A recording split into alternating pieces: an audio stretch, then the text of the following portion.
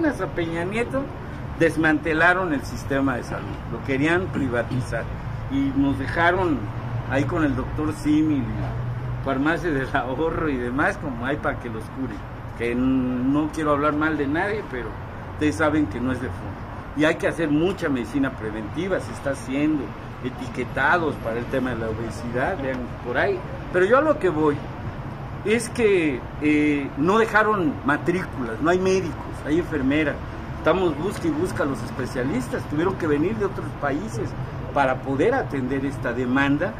Y ahora, lo acaba de decir el presidente, se van a hacer las 55 nuevas escuelas de la Universidad Benito Juárez, pero se le está pidiendo a Raquel Sosa que ahora estas escuelas que se van a hacer de la Benito Juárez sean de medicina, facultades de medicina y de enfermería, porque es la demanda. No hay en un déficit de más de 100 mil médicos que dejaron sin matrícula. Y eso lo seguimos viendo ahorita las universidades públicas están bateando a los chavos porque no hay matrículas en las universidades.